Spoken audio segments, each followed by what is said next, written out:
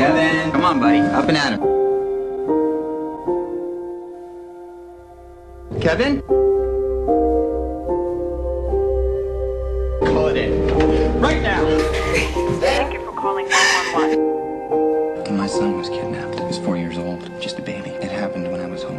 There was a noise from down the hall, and I should have gotten up to see if there was something wrong, but I didn't. It's like today. I saw you trying to get away from that girl during cookies and milk. And and maybe you're gonna have to make up some story. Tell her that you're you're lactose intolerant. I don't know, something.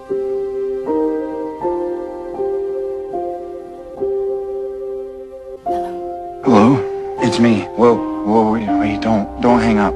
Please. What's going on? I know what you said. I just, I just need to see you. Please.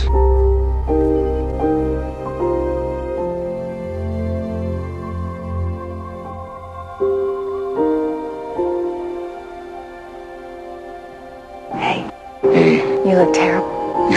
Why did you call me Jack? I think I saw him. Kevin, look, I know how this must sound, believe me, but uh, I feel like I'm losing my mind here. I tell someone. I told you that if you wanted to keep punishing yourself, you could, but I won't let you do it to me anymore.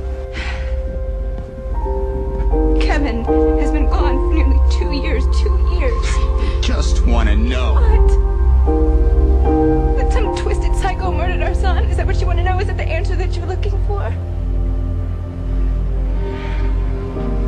I'm not like you. Why can't you understand? I don't want the truth. I won't survive it. You're the only one who has a right to be pissed off. You think you're the only one that's had it rough? Who do you think you are? You call me over and over again for two days straight, stoned on your pills.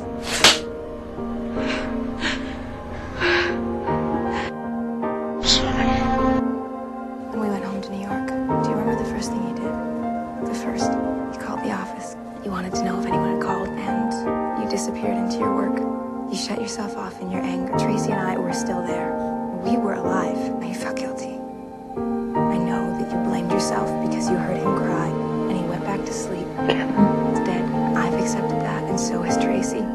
She's accepted it in her own little way. And now you, you need to accept